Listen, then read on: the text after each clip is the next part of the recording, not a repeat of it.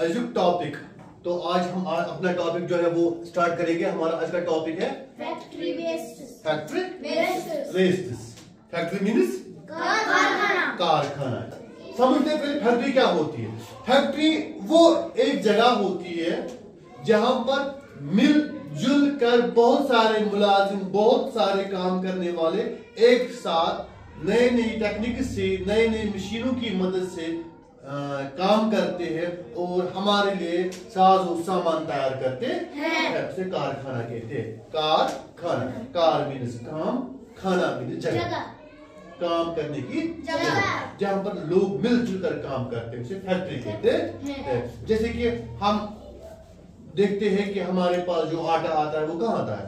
कहाँ से आता है? हम देखते हैं वो आता है दुकान से। लेकिन आपके जो बनता है जहाँ से वो आटा बनता है वो फैक्ट्री है ना बेटा?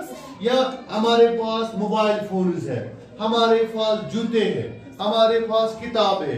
इनको जहाँ बनाया जाता है जहाँ इनकी आ, सेटिंग की जाती है अच्छी तरह इनको प्रिपेयर किया जाता है बनाया जाता है उसे फैक्ट्री कहते हैं। तो जो हमारा आज का टॉपिक है वो है फैक्ट्री वेस्ट वेस्ट से कहते हैं वेस्ट कचरा। यस बेटा? कचरा। शाबाश। वेस्ट प्रोडक्ट को कहेंगे बेटा जो हमारे किसी काम का नहीं होता है। जब हम हमारे घर आपके घर में कभी कारपेंटर आया होगा?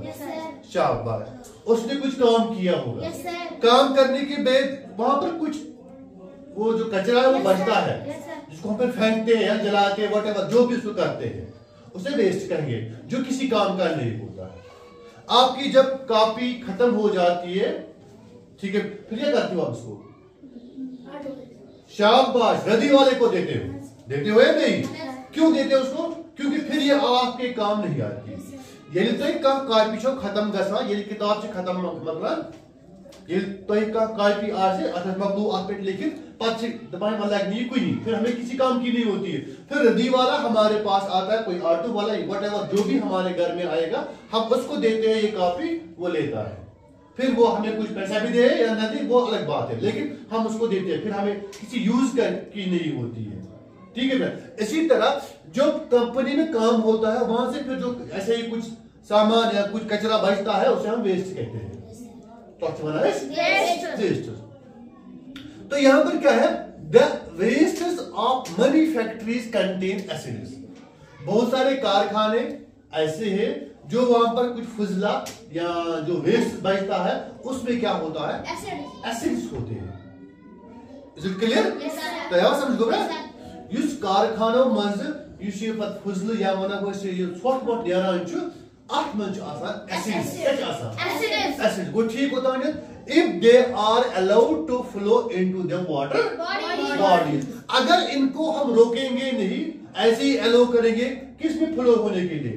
वाटर बॉडीज में वाटर बॉडीज मीन जो हमारे दरिया है समंदर है नाले हैं स्ट्रीम्स है अगर इनमें हम इसको अलो करेंगे अलो भी ऐसे ही छोड़ देंगे ऐसे ही छोड़ देंगे जो कारखानों से ये फुजला निकलता है जो ये गंदगी निकलती है जो वेस्ट निकलता है अगर इसको हम रोकेंगे नहीं ऐसे ही कहाँ जाने देंगे? वाटर बॉडीज में जाने देंगे समझना मेरी बात तो इसे क्या होगा?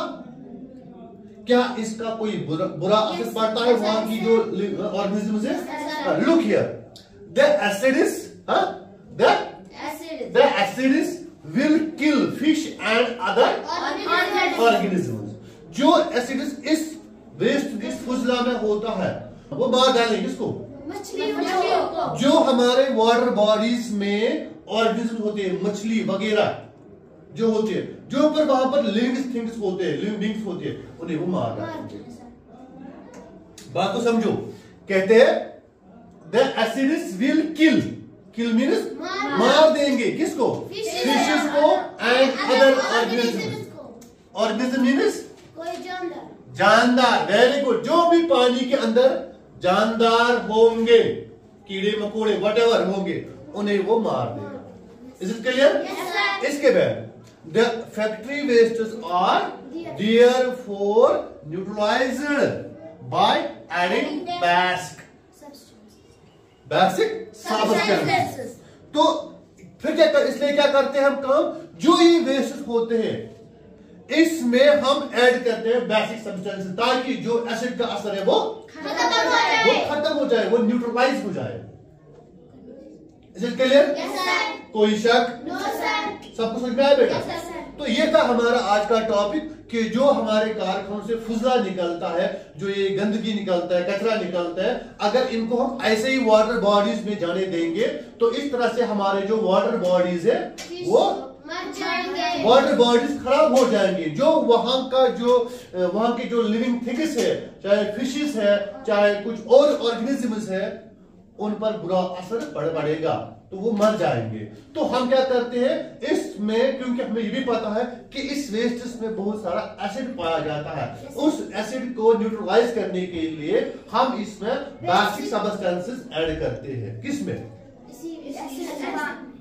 इसी कचरे में इसी फुजला में इसी वेस्ट में हम क्या डालते हैं? बेसिक ऐड करते हैं ताकि उसका एसिड का असर कम से कम हो खत्म हो जाए।